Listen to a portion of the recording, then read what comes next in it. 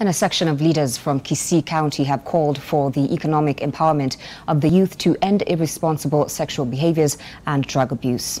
Addressing hundreds of youth from Kisii County at St. Angela Igonga Primary School in Bonchari constituency on Sunday, Kisii County Deputy Governor Joash Maangi urged the young people from the region to embrace and take advantage of clubs and societies in order to disengage themselves from irresponsible behavior.